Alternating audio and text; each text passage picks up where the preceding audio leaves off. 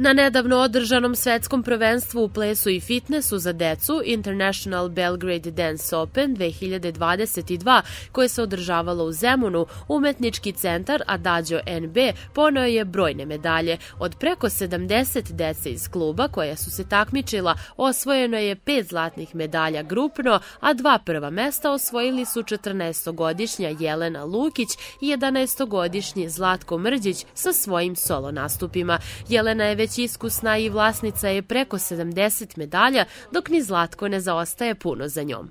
Osjećao sam se baš super kad sam osvojio medalje i, sve, i svet mi je postao lepši. A koju si ti koreografiju izvodio? E, Warrior i Survivor.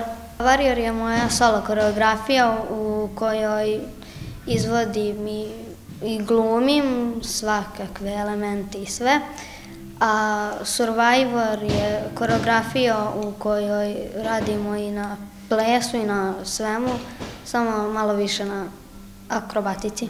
Ja treniram šest godina, a za svetsko prvenstvo smo se spremali šest meseci.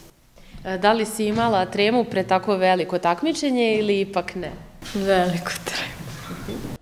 Na svetskom prvenstvu učestvovalo je 10 zemalja i čak preko 800 učesnika, što znači da je konkurencija zaista bila ozbiljna. Sanja Flanjak, predsednica udruženja Adađo, trener i koreograf, ističe da su se oni predstavili sa 17 koreografija, od kojih je 16 bilo nagrađeno. Mi se konkretno ne spremamo samo za to takmičenje, mi radimo tokom cele godine, samo par meseci pre takmičenje krenemo malo intenzivnije da vežbamo koreografije. Bili smo svi ponosni na decu. A dečica šta kaže?